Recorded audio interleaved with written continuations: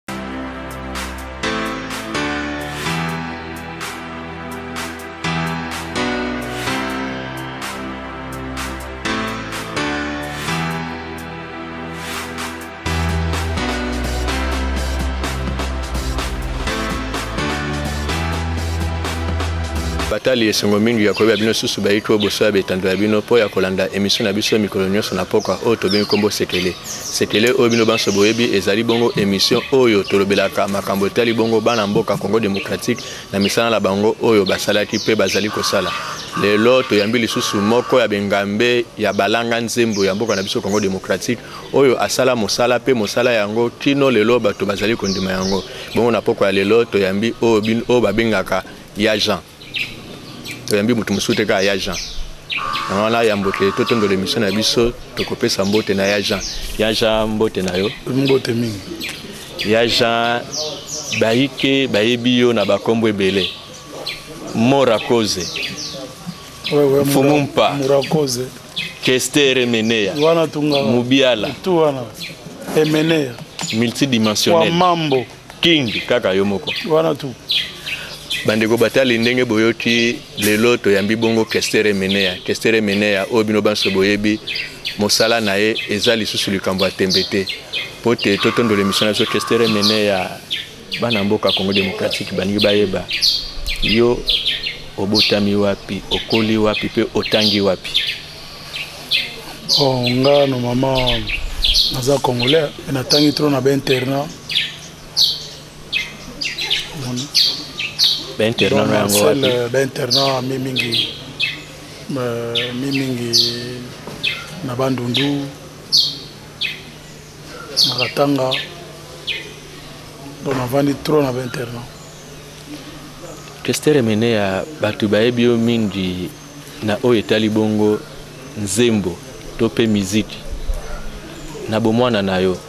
ozo tanga, ozo beta miziki to obandaka na yo kaka kotanga miziki ekomi olando na sima? Bon, nayebi te miziki eza eloko moko dine ine sadi obotama nango na ba internat wana to akokende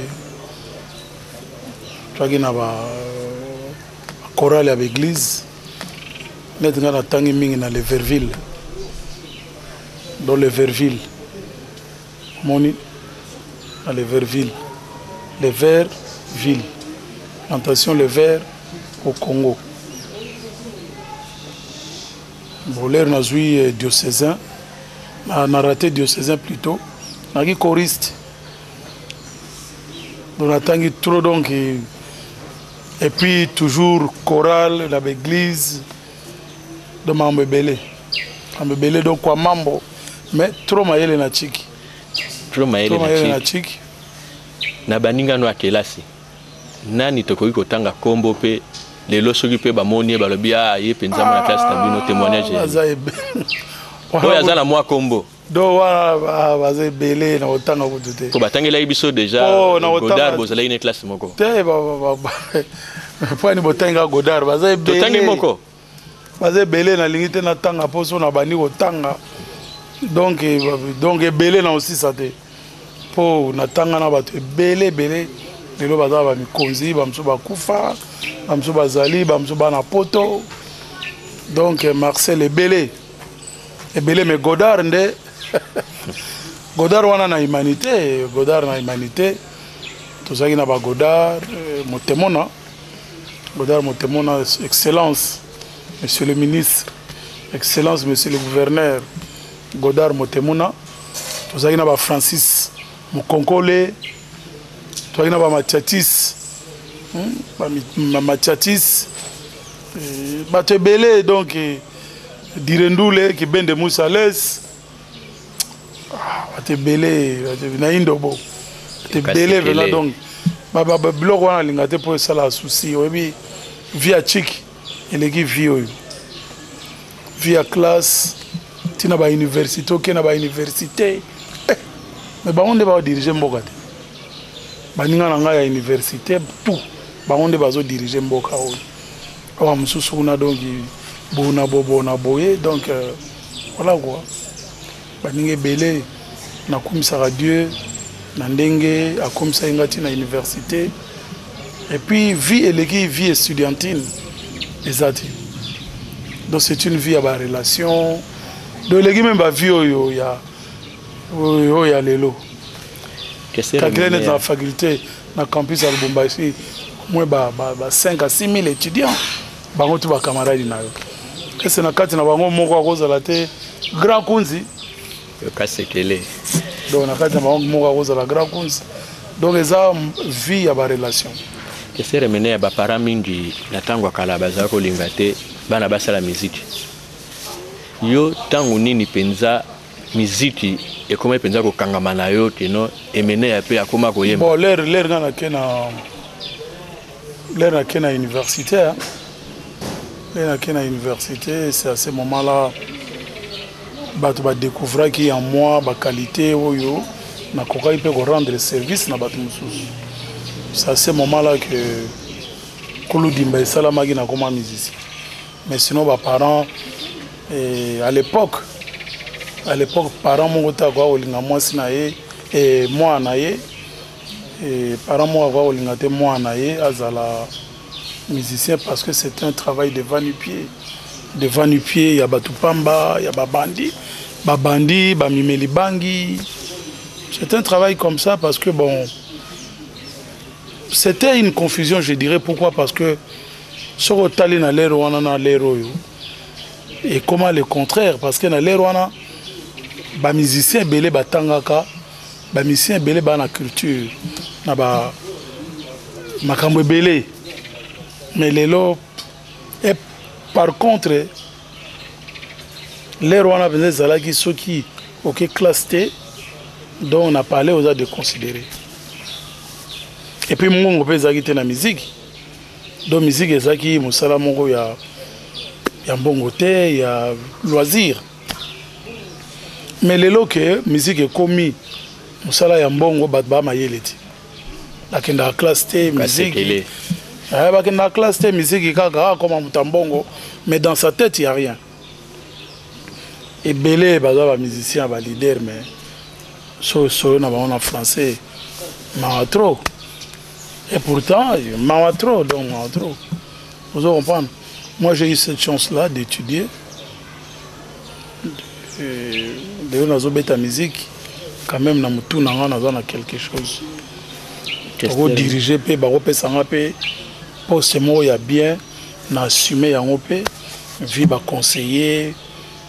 oyebi donc voilà quoi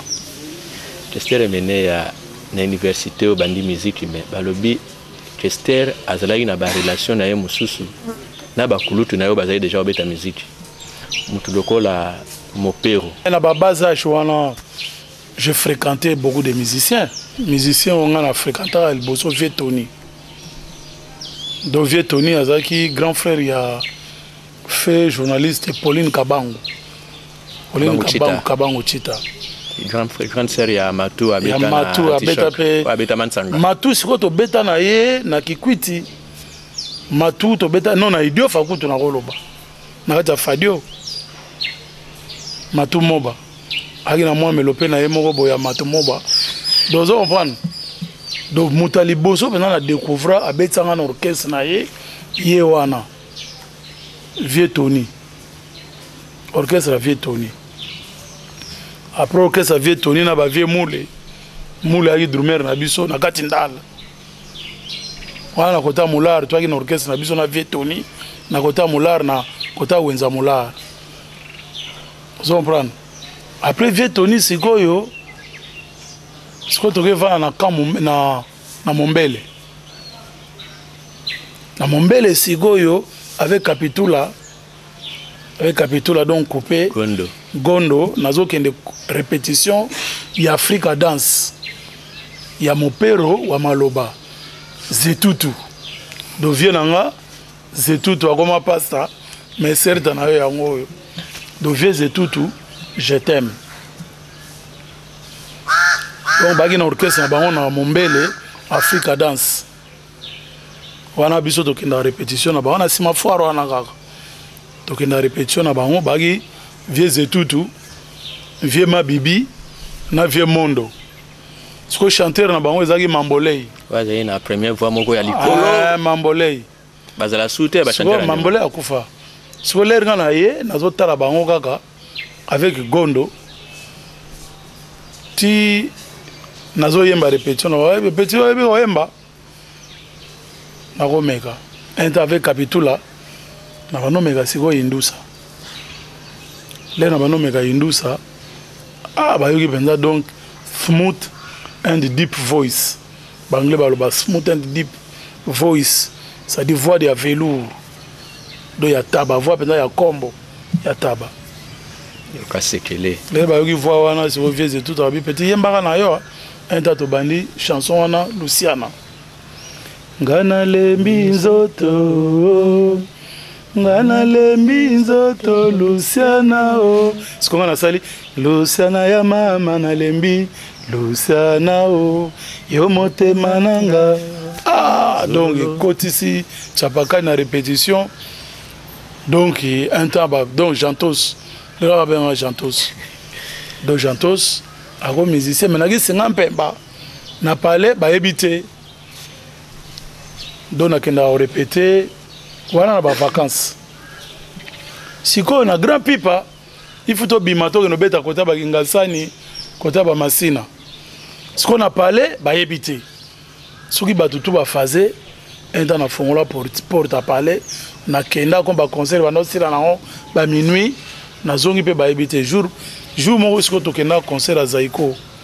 na, na place ya la voix du Zaïre à l'époque na commune na Kin na Itaga wana na Itaga wana croisement Itaga Kasavu eh ba, Zaiko contre Empire Bakuba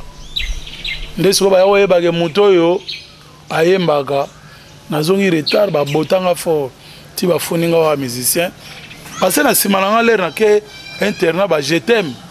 mambolei sikoyo arepetaka na bagarso mpo mambolei ayaki moto ya kasavubu akimaka mombele ake repete na kasavubu amemaka bachanson na biso ya, kam, ya mombele eh, ya mombele amemaka yango kote wana na kasavubu lere sikoyo eh, producteur amonani producteur yango komona ezalaki nani bibi ayebi oyo nozwa motu wana mokolo bachanson bakezwa vie je t'aime ti vie je t'aime basangani na dona mobeti basali kavacha bakosi bachanson ngai sikoyo na kati ya village na batiki kati ya village na batiki batiki kosala studio ngai naza te sikoyo bavoila ngai tu oyo nakosala Vieux Zetutu a récupéré yango asali. Ozo comprendre? Alors wana ezaki elekaki nango ti bakomo beta ti babunda kuna baswana vieux Zetutu alongwe na Kavasha asali shama shama mais toujours avec esprit ya petit na ye Jantos. Koto pe vieux Tony donc mouvement na ye esprit toujours ya petit na ye Jantos. Mais petit na ye Jantos bamema ye kote ya institut un temps refoule na village ba refoule nga na village lelo ba refoule nga na village na komi pe na kikwiti donc nakuti orchestre mo basala les anges noirs un temps nakuti mpe bamasa mosusu wana baobeta donc tobandi obeta na bango mai natanga na internat na indobo na bagodard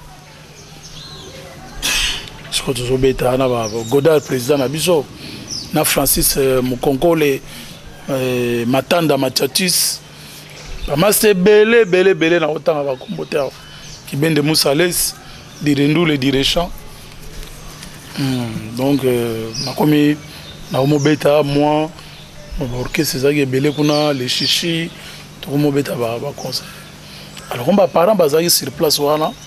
ba parents mpe balingi su te nabeta susu donc nga nazokima biso tokima bafrère na butu saban tokimi na butu tokati mai ya kwilu toyei kobeta na kikwiti donc basenkele tozongi tozela premier baki tokatisi susu na internat bayebi te ah sere na ngai aye koyeba ndenge wana epai nde nakovanda na mombele aye kofashe mabe alongoli ngai so na kikwiti atindi ngai mpenza na kati kuna do na kati kuna do na iungu nsamba do kota wana mpenza donk dimbu autrement dit village donc wana mpenza dimbu mpenza village enta na dimbu ezosimba te bango mpo mobali nayaki euh, bapresibiterien na lemba wana bango mpe bamite bango na fadio tokesi na fadio orchestre lisusu kaka indusa me bayebaka kaka te me bayokaka kaka moto wana grand indusa ye wana sikoyo na bamasa na nga moko ya yolo so naye na vacance bamasa na nga yolo hilaire barbe barbe hilaire bandeko ya kajilo na irumu na yolo tozovanda na yolo wana na irumu ti lere moko bamemi nga bamasa na nga wana bamemi nga epai ya grand frère ya jo mali vie na nga wana daya franco mongo wana bango orchestre na bango luna luna national donc orchestre babozi nde bakobeta wana bozi akenda na, na minzoto epa pere bifalo ngai natiki kokota wana na luna vadi abimisi tambola malembe torepetaka na pale jo mali kutu enif akipaka nga te torepetaka na bapeti na ye bongle dovie franco mongo na solo peti na bango moko bongle na base sikoyo wana naza pire petit ya isekofeta laofanza wa jina me nabetaka kaka mpo motu na ngai mpenza fanatike na fanatike na ye betabeta na baorchestre wana ti orchestre yango tobetaka na bapetit moko togo petit togo donc ye wana petit wana nayebi te soki azali togo ye moto atiela vadis premier fois na tambola malembe orchestre yango tobimaka te tobetaka kaka tobetaka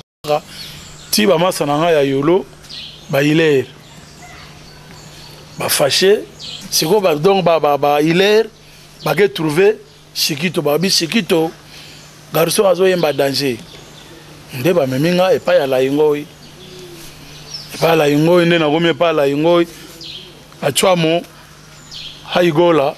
azo sekope azo faze ayebisi Haigola mais chanteur moko Haigola alobi bo ayemba di ayemba kaka wana na kati ya institut na kati ya institut wana ba ba lenkuru balongwe bake yoka lokole na institut sikoyo napesi kaka heluze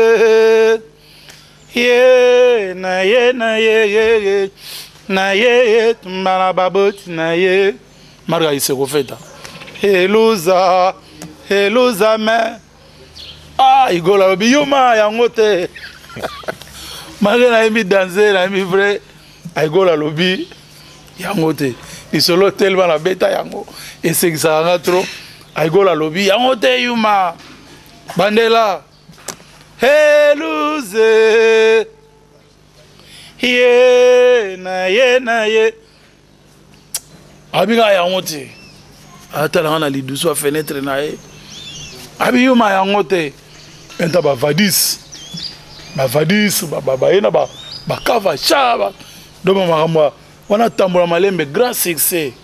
Mokili ya bato. Ti Shikito abi mwana mai oyo azoyemba danger il faut akota na institut wana bajuna janana na institut kote wana nakuta na bagrand prêtre na bakavacha babonabona babi mm. wana nakomi na université nabi oyo soki nameki awa nayakoma fou hmm. oyo orchestre bakavasha omona bato donc baplan donc abi oyo nini yoka sekele ti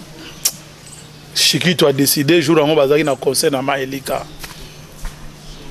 maelika wana lere wana je crois lisi rose nayebi te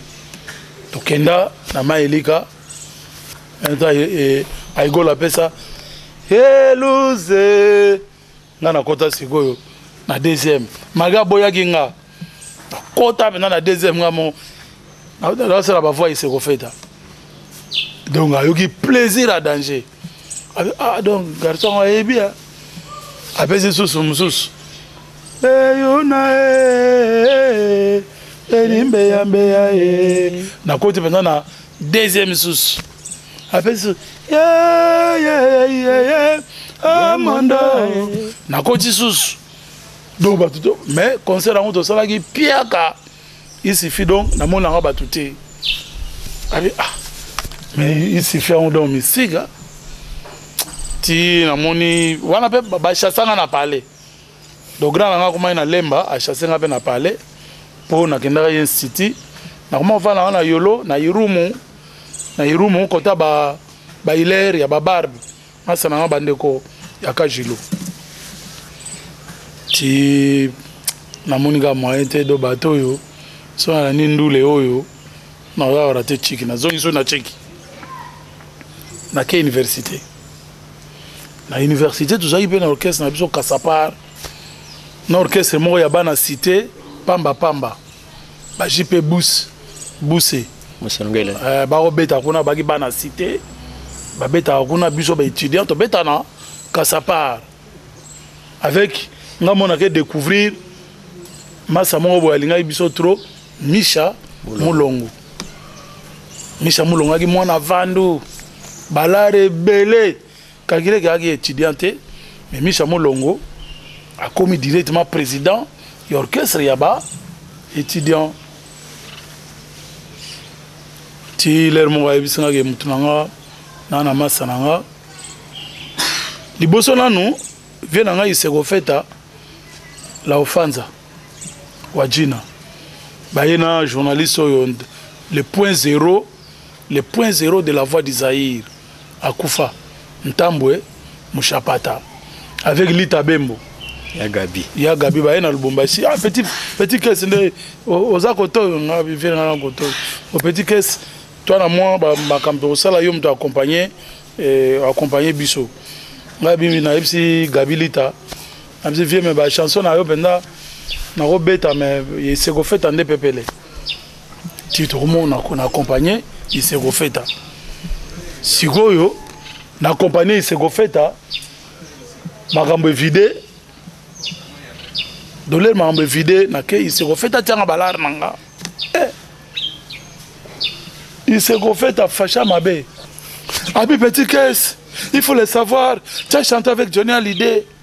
Pas sekele.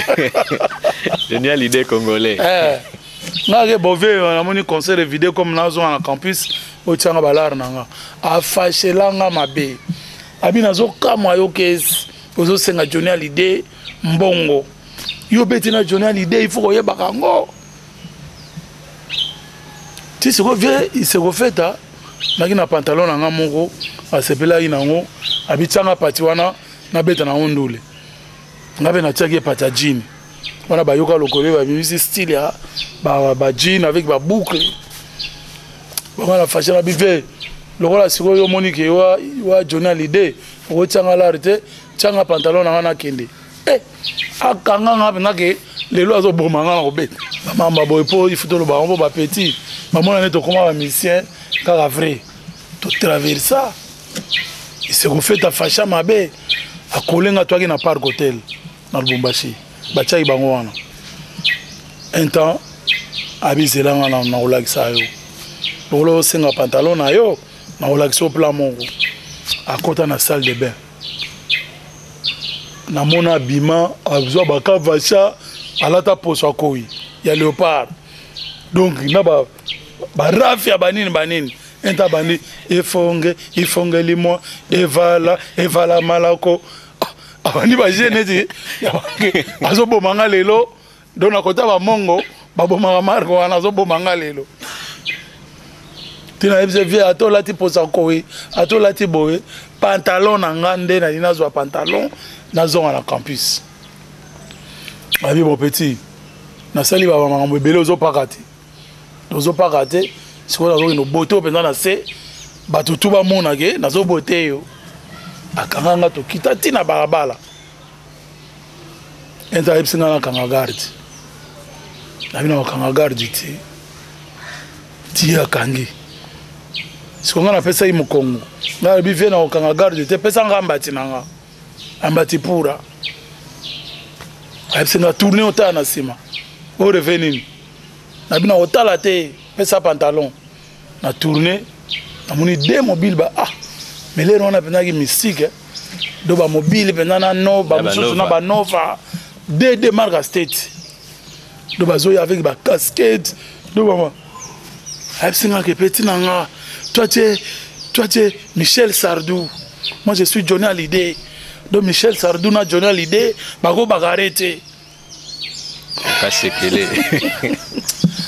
yango moi bavie wana baisekofeta bagrand prêtre na idéologie ti après atiaki ngaka pantalon na nga nake na campus bango bazongi na kin nayoka ke azongi su na zaiko mais lere wana tosalaki nde libanko tosalaki idéologie ya libanko biso de tozoforme orchestre na biso biso de libanko tosali mpe bachanson elingi koloba te lokola nayebana nakende lizuzu ngowayawayaka ya biso nde tosali bachanson comme nga natikala na tiki ya kiti na kin azwi babozi ba garçon moko akaki mpe journaliste ya soliste pepe mavakala azwi pepe mavakala basali orchestre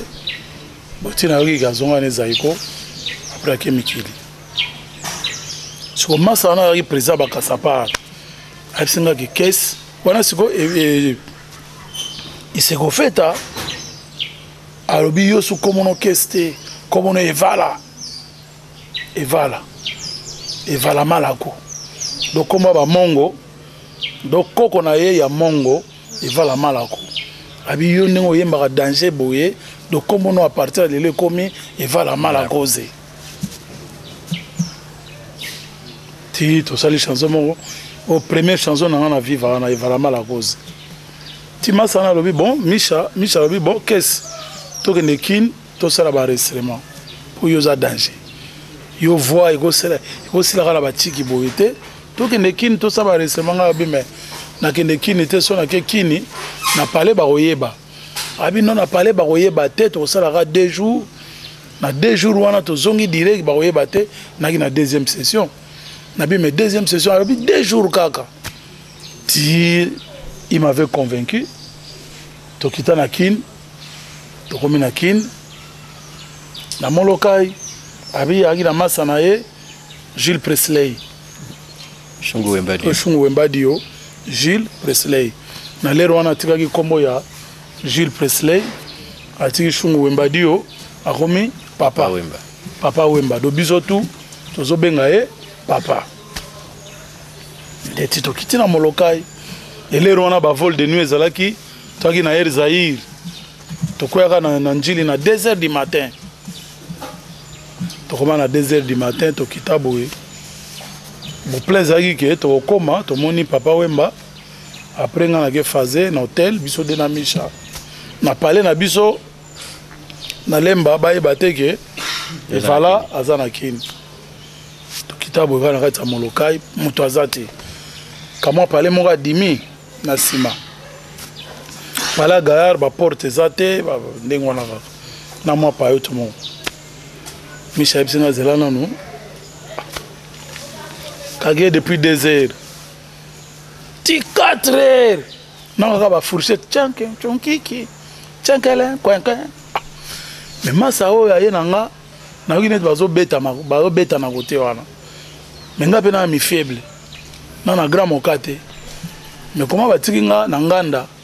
bango bakobetana na kati ya kisenga mpemba ti 5 heure misha aye kobima nabi na fashe mabe me misha omoni bamama yango yango oyo yo olobaki tokodie na hotel bona boye epui nzala yo obetani ngai nakoyoka bafourchette eyosala bapla mongo siko ndenge nini okesi okay. ndenge eza wana lero botel tokozwa te namoni tofaze kaka awa na ngai komi na nsima na na mwa nzazi na ngai nake faze epai ya nzazi yo faze awa ngai bino misha toyokanaki boye te il faut otelantino faut otelantino mpenza donc otelantin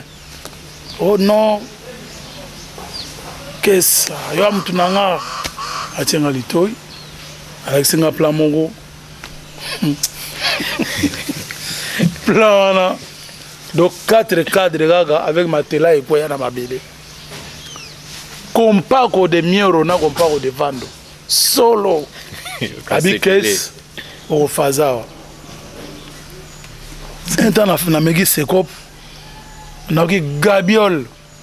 do grand gabiol même place mosusu akofaze eza te osala nini un temps pongi mpe tellement alaki fatigue pongi evene naka motu moko akoti odi nani oyo di nani oyo afaza awa di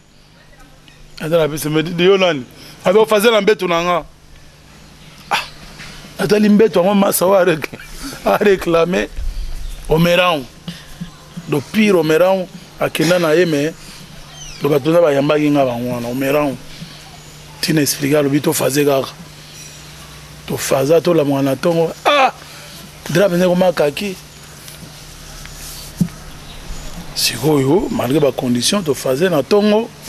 enkuru azofaze kaka ti ba 11 heure na fasha mabe navandi kaka ti abimi atuni oh yo nani nayebi nga evala o oh, evala nani nayebi evala osala nini no nayaki na misha nafazaki awa ah. nakoma misha signale nga te yo oza nani nayebi grand indusa yo mark abana tiki boye moto ya indusa nayebi te vie nga na grand indusera ake na motwale moko motwale ezalaki ya libanda ake twalatwala ake twalatwala mwa 30 azongi yo chanteur nga abi wi nga chanteur bwaka nanu ase na lere wana orchestre ya bajeune mosusu ezalaki te ezalaki kaka zaiko donc moi j'étais fanatique ya african fiesta fanatique ya african fiesta national na african fiesta sukisa naki fanatique ya bagrand makizar na bajeanon bombenga vox africa tout ce qui était clan African Jazz batesa zitani bajoski kiambukuta bapole ndombe do bavie wana bazalaki nano bajeune velere wana na orchestre ya biso ya bajeune ezalaki zaiko alors bachanson tout ya zaiko nayebaki yango lenkura ayebisi ngai nayemba napesi chanson na ye moko hey, oh, nabeleli bama Tongo et Daneli Ngabo, toujours avec voix ya Iseko Feta, comme le grand professeur, grand moto. Ah, le cours a yoki penda donki, à côté na chess, na la deuxième, abando plairé. Abando le la penda po ezaki chanson à salela ki, mère na ye, pauvre mère na ye, akenda. To bando yemba wana, bando le la, donc ayoki penda, indusa Iseko Feta penda. abino petit aza danger ezala bipeti oyebi mosusu te napesi suyi omanga omanga oh, dania yelele yele oh, oh, ah non non non non non un temps masa moko avec gondo avec lipazi ya mosuna bata akoti linkuru ayebisi nga ke oyo peti na nga mpenza oyo peti na nga mpenza antoine antoine antoine ayebisi ke garçon azo ayebisi antoine ke garçon azoyemba danger awuti lubumbashi azoyemba danger sekele tobombaka te antoine yango nani antoine kofit après quelque temps sikoyo totikaki nkombo antoine tofuli ye na nkombo ya kofi olomide ti ler vie akoti na palais totikali biso de na antoine atwani atuni nga ah, masa yo ozoyemba danger mais bachanson tout vieux asalaka ngamu napesaka ye ngamu nakomaka ye ayaki mpe na gitare yo osingalaki ngaka yo mpe koyemba na ozoyemba te marcel eh, marcel alobaki aoyemba azoyemba te te eza masolo te sikoyo ato ayebisi na liyo moto aka na bachanson interprétir hmm. yebisanga mwana ayembeli nga bachanson wana tour abiyo donc oza okomposaka danger abi nga nayembaka te me nakomaka kaka nayaka nango vie na nga donc aza pile vie na nga mpona mo tv abimi ato ani oza na plan moko te tokosala na na petit evala petit case Acha na lobi ezali yo moko pe Marcel oyebi ekocha nzube. Bandeko batali totikaki bino boyoka Chester Emeneya aloba le non dit oyo nanu boyoka te na carrière na ye ndenge abandaka mm. epai akoleli ndenge azali kotanga ndenge miziki aza kobeta malembe malembe ti akomi na viva la musica na viva la musica Kester Emeneya akoma 3 mois après. Viva la musique ebimi na mars na juin Kester Emeneya akomi wana. Kokoma ya Kester Emeneya esalaki lokola vague ya sika eye na kati ya Viva la musique. Sikoyo tozobimisa sekele ya vague wana Emeneya oya na eloko nini na kati ya Viva la musique. Teme lero wana na nakomi na musicien te lero wana osalaka ke na ozonga chiki. Ti masa alobi ekotya nzube. toyeba bando oyemba bango de ti namoni vie wana amonanga mystique mpo ah, moto yango ayei kaka lobi abandi kokorige kofi azokorige na ngai nakorige bango de na bino yo place wana ifale ezala boye te place oyo ifale ezala boye te parce que omoni nayoka lokolo obetaki nze moko eloko esalanga boye malade lisuma ya zazo me awa sokoso yesu na nzela naleka basekanga yo mimi eza meme namoni to change yango parce lere wana bazobeta mbangu moko viva yo moko oyebi ebale banga ebale ebale ento ah. nakomisi yango calme ti après bakopere na misha misha akima na biye na ngai ya retour misha akima nga asondoli nga sikoyo akimi na lubumbashi atiki ngai na kati ya bakini na pale mpe bayebaki te deuxième session mpe ebandi voilà ndenge nakoma musicien nakomi musicien sikoyo pale mpe ya kovanda eza te na pale bayebi te ke ngai na na kini donc moyen nakokoma te ti masa na ngai moko ya mpo ngai ezalaka bademolu na bamongo masa moko ya demolu ngai na mwa pale moko na bon marché to ti toke okay. na pale wana tinga na komofutela pale wana ndako ya ndele na epolo na epolo aveni epolo na nsima ya bobongo mhm. mpo masa ye ayaki kota cadastre pale na bango ya kokela cadastre atikeli ngai na epolo tii ndenge nakoma musicien sikoyo nakomi musicien voilà nde nakoma musicien album ya liboso ya viva la musica oyo eza na mère supérieure bokulaka bayebale mbonge wana soki otali deuxième lot ya banzembo ebima la viva la musica fleur botoko ekoti ya nzube aisa na zoe obakisi na kati princesse ya senza oyo aza na tembe wana ezalaki clip te ba disque audio ba disque vinyle otie yango oyoki différence eza entre les deux albums oh ouais. nakutai mare supérieure euh, elu sharufa na ebale mbonge bon epuis nakutai lisusu ba nzemba babipoli euh, zena na ya pesho wa ngongo euh, na te ya kisangani te nakutaki kaka bachanson yango bachanson wana oyo yo ekotia mongongo na yo scolaire nakoti sikoyo apartir na bachanson wana kofi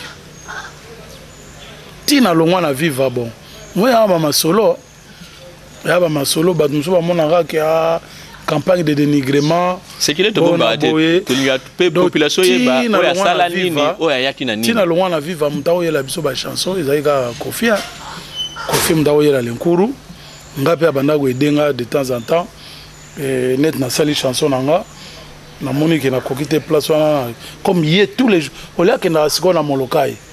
ye akomaki sikoyo koya na pale na nga na ndako ya ndele comme bango mpe bapale alemba batekaki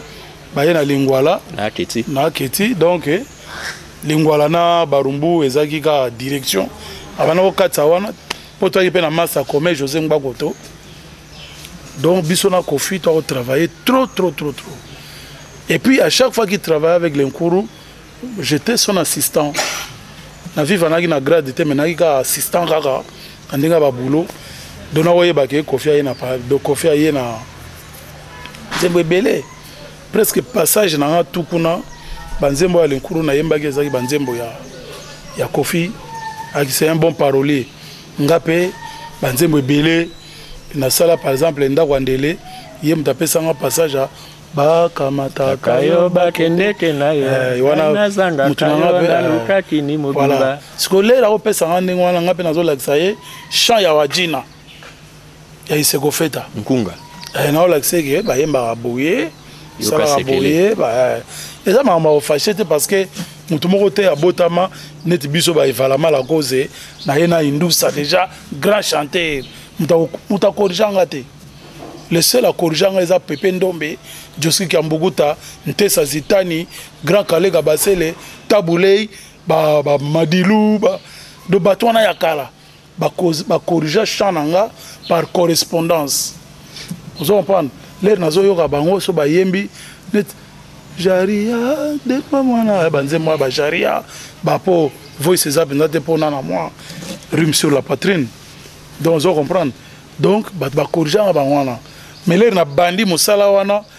donc moto moko ako corrige nga te parce que c'était des enfants ti lelo baza ba enfants na voice na ndinga na nuance na tout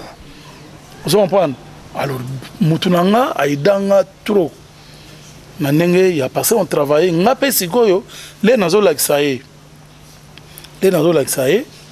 ye mpe azokotisa neti par exemple atankale nabanzaki yo kozonga nazeli yo se pamba nabandi komitongela lilita na nga ye moto apesaki nga parti wana ozo comprendre ye moto apesa donc c'est un, un monsieur bien C'est un monsieur bien, mais bon, après, lero ebi folie de grandeur, lero komi pe mutu, olingo sala boye na boye, après ekoma soki ndenge nini. Vous comprenez? Mais sinon, toi vivre bien na batu wana. Donc oyo aye, chacun avait son travail, mais toujours musu na kuti ye, bazo sala senza na lenkuru, bazo koka te, il fallait na kotela bango voir na kati kati. Vous comprenez? Parce que Le nkuru azokende likolo ye na se ilomi na nzoto boye senza malu senza nabenda ye na kote mwana mai eza chanson na yo nde ozoyemba wana bato bakoyeba te ke oyembaki meka kosala bona bona bona bona bona tu vois c'était c'était un ami un frère aussi ozo comprendre donc na viva ayeli biso ekoti ya nzube Mwana Molokai, ba Fleur Betoko, eh, ba Anibo, ba nzembo ebele ya ye. Nzembo bato balisepela na mongongo no makasi, nzembo lokola ekotisa nzube oyanga sheri na pona oyaka ouais, ouais, ekotisa nzube wana première chanson première rencontre na kofi na papa wemba nzembo ya liboso tosala biso 3 ekotisa nzube bon nakosepela trop ke baproducteur ya bachanson na basalisa baclip parce ya bachanson ekokufa ndenge wana te parce que eza na baleçon ya bien baparole ya bien kofi akosala baparole ya bien à l'époque maintenant c'est du n'importe quoi mais na lere wana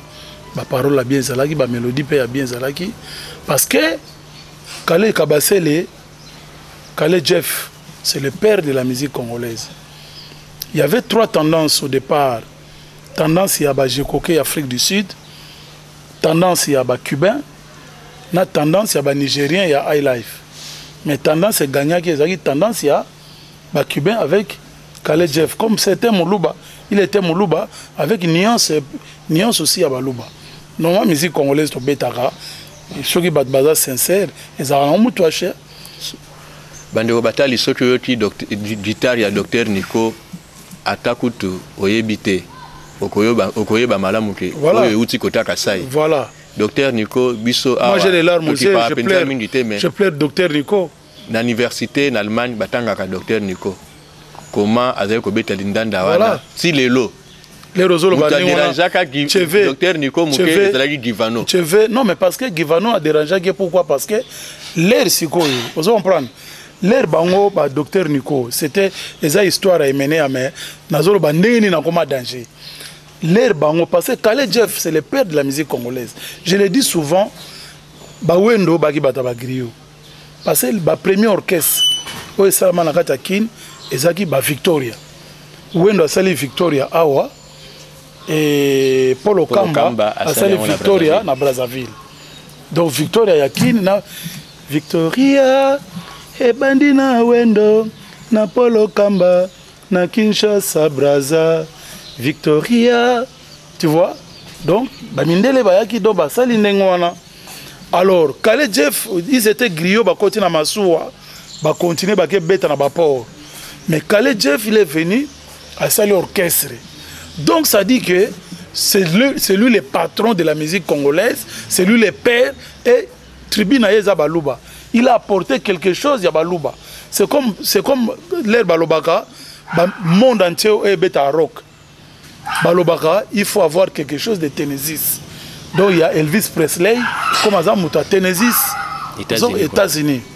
biso toza na quelque chose à Kale Jeff sikoyo Kale Jeff bapeti nene banani batabulei bombenga wewando Mujos, Nico, ba bona bobona ba, ba na Brazza ba bato bakenda kosala Bantu de la capitale. Donc bato wana tout musique congolaise yango wana. Alors ler sikoyo ba Kofi, ba Emeneya, ba Papa Wemba, ba Josar,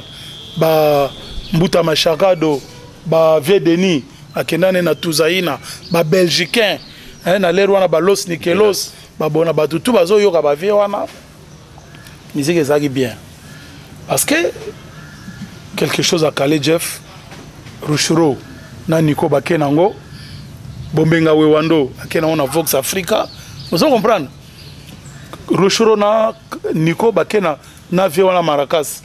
Izeidi Monkoy, Leoba de Izeidi Maracas. Monkoy. Bake na on Africa en fiesta. Bombenga Wewando ake na on na Vox Africa. Bamusu bake na on na Bantu de la capitale. Siko na Vox Africa vieux Bombenga lelo bato bazo pesa respect te. Vieux Bombenga c'est un grand prêtre parce que ye moto a formé Joski nani Ntesa Zi- Ntesa Zitani avec Samangwana. donc calcule banzembo wana neti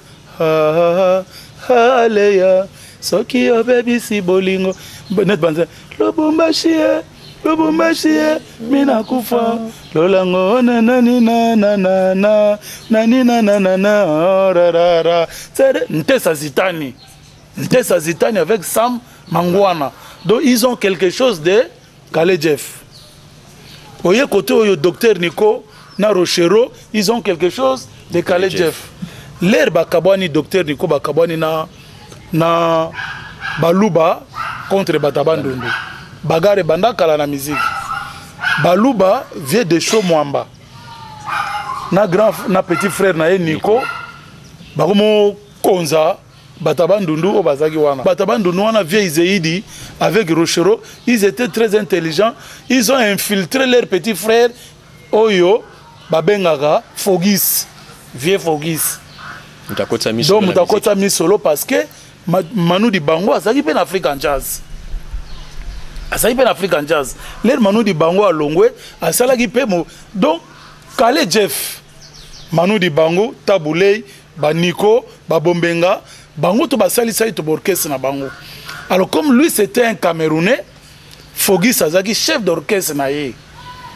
Leri ye azongi na ye ake na Fogis, leri docteur Nico babandi trouble ya baluba na bata bandundu na kati Afrique en fiesta, Rochereau et Izeidi ont repêché le vieux qui était au Cameroun, vieux Fogis.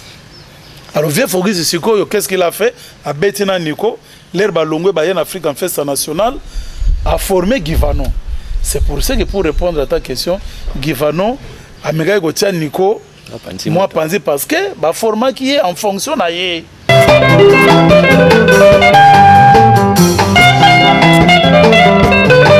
Ah, mwana mpango. Givano, Givano.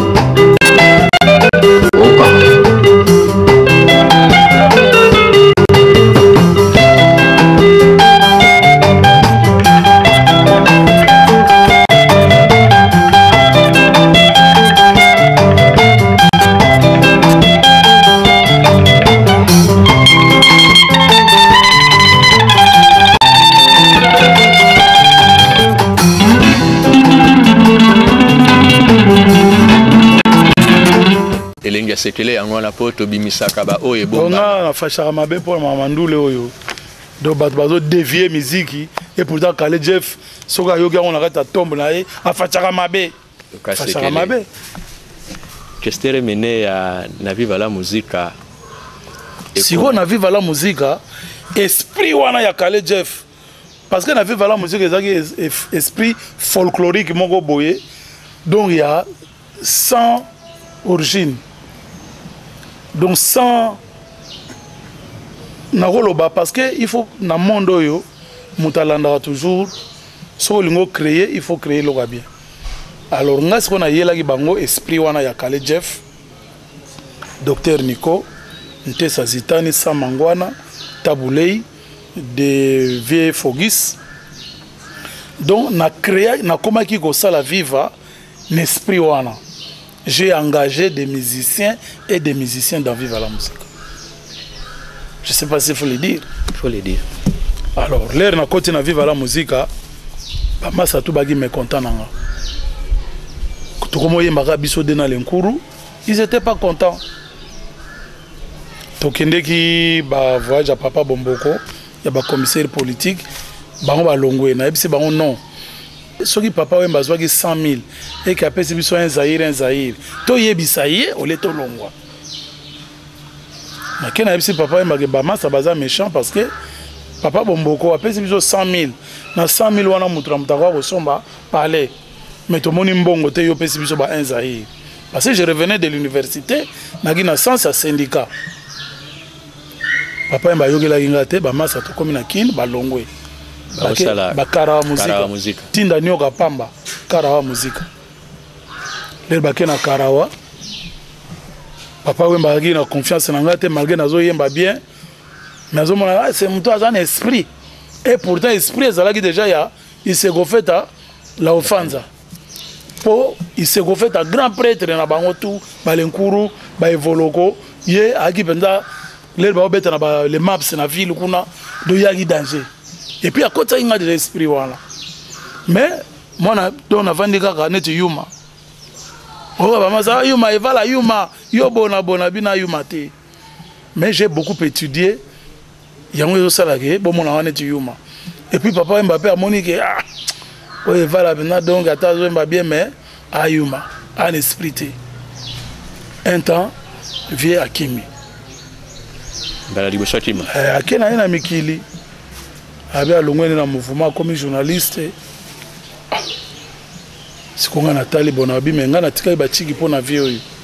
ye siko ndenge azokende boye ndenge nini bana mai mpe bake nazonga classe ekosimba te na organise boite na esprit ya kale jeff na esprit ya rochero nakotisi ba nazwi shakashigo broud a remplace bipoli mwana matonge na kota bolia kuna mhm. nazwi shakashigo broud